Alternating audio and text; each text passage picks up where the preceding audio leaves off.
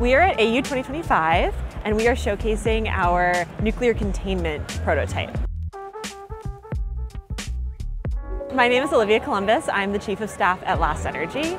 Last Energy is a micro-modular nuclear power developer. We design and produce a 20 megawatt product that can power about 20,000 homes. So the nuclear containment is the structure that sits around all of the nuclear equipment in our design. And this prototype is one section of a 60 foot structure that is made out of pure carbon steel. Working with the Autodesk Foundation, we've received software donations that allow us to integrate Autodesk technology into every aspect of our workflows. So Last Energy's core mission is to increase energy access globally.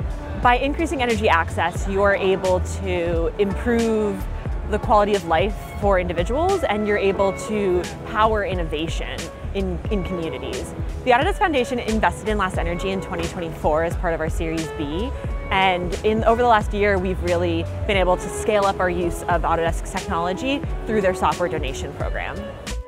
So Last Energy's current focus is really solving the energy challenges of data centers and other hard to abate heavy industry sectors.